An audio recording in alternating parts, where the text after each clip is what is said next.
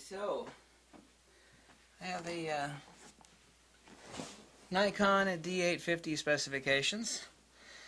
Uh, like I said, you could all throw poo at me, as I said a week ago, for mentioning uh, EVF. Depends on what side of the boat you're on, whether you think this is impressive or not. Uh, there's some impressive stuff here, and at the same time, it's a little bit meh, but let you make the decision. The camera is going to be announced on the 16th of August. These images were leaked onto uh, Reddit, and they're all in Chinese, while everybody else is floundering with the Chinese to English translation of these specifications.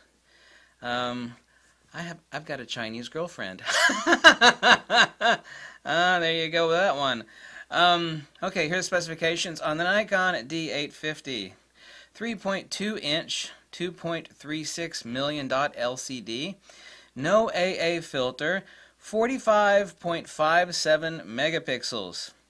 Um, in camera, not tethered, not on the computer, in camera focus stacking for macro and landscape uh, photography. So it's automated in camera. This is a huge boon for product photographers as a dream camera. Um, same EXPEED 5 processor as the Nikon D5.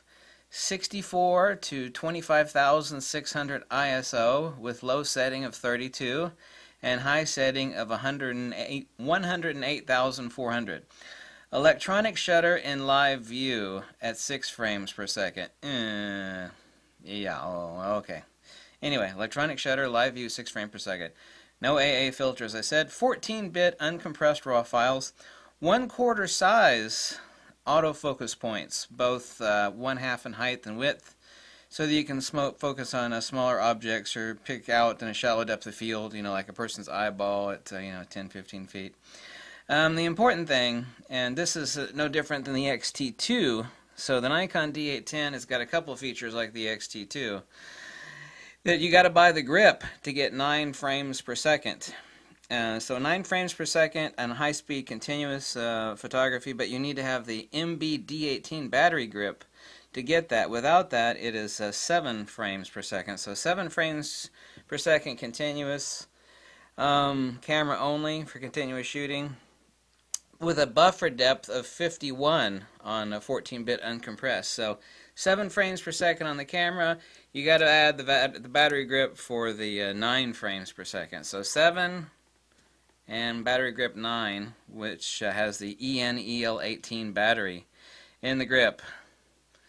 Just what I told you the power requirements just because there's two batteries in the vertical grip on the XT2 the much bigger uh, bulbous uh, pentaprism area is for 0.75 internal magnification. This will be really um, very very helpful for a lot of people. By the way the XT2 viewfinder is incredible uh, really, I'm not trying to compare it against the XT2 since it's a huge 45.57 megapixel camera, but it's kind of astonishing that uh, some of the features are mimicking that of the XT2, like the viewfinder, and the fact that uh, it's sucking a lot of power, so you cannot get the full capabilities of the damn camera, which is a brilliant idea, but it's a power thing, unless you have the grip.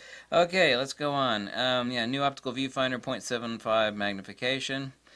Um, you can already do that actually with a screw-on magnifying viewfinder, which I already have six of those things on six of my Nikons. Um, yeah, no AA filter, that's really, really important. Um, 8K uh, time-lapse video, 4K video. Um, the pentaprism inside is huge, that's where the 0.75 magnification is not only bigger this way, but it's bigger this way. So uh, it's going to be a lot better to uh, pop your eyeball, especially if your glasses wear on the Nikon D850. Silent shutter mode at uh, 45 megapixels. So you have a silent shutter mode. That's going to be the electronic shutter at 6 frames per second. Oh, advanced uh, automatic white balance. Who really gives a darn about that? However, Nikon will speak up any slightly insignificant feature as something amazing, but it, it that's any advancement is is good. But really, Nikon should be bringing more to the table. Anyway, on with the features. Advanced white balance for natural light.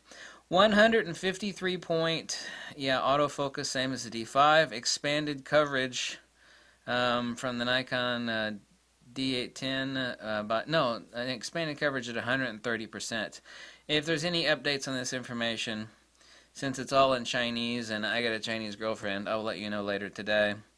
10% bigger viewfinder, so kind of like the XT2 has. However, the XT2 is much bigger than uh, this will be. Um, yeah, so those are the key features. 45.57 exactly megapixels. 9 frames per second, but only if you have the vertical grip, which is taking the big honking MB-D18 battery. I don't know if you know what the size of that battery is, but it's really big.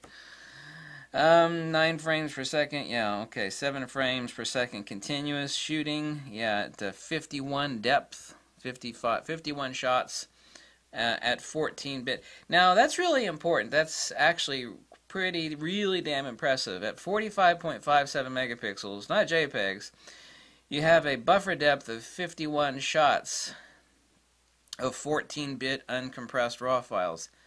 That's that's a lot of data shuttling its way onto the cards. Um, yeah, ISO 6400 to 25600.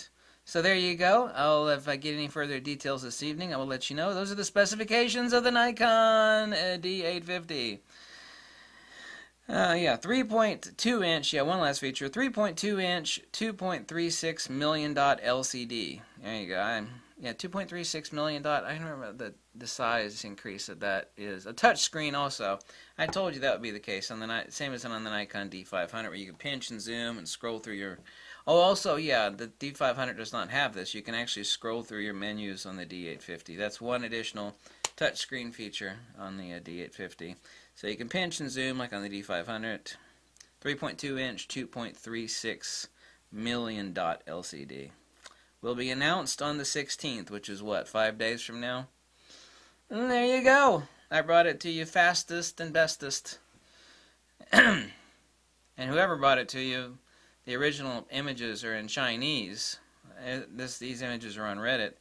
Uh, so they had to be translated from the Chinese to the English since it's leaked information. So there you go. There's the specifications of the Nikon D850. To me, you make up your mind whatever you think. I'm kind of of the view that uh, it's like, yeah, well, there's some improvements there, but really it's just like a a beefed up full frame version of the D500.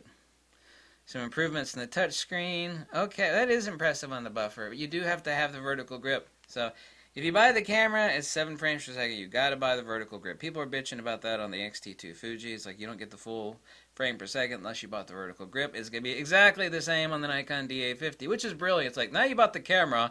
If you want to unleash its full potential, you got to add a vertical battery grip, a vertical grip with a huge battery in it but that's really no different than this. I mean, there's two batteries in the vertical grip on the XT2, so there you go. There's the specifications on the Nikon D850. I hope you like this video.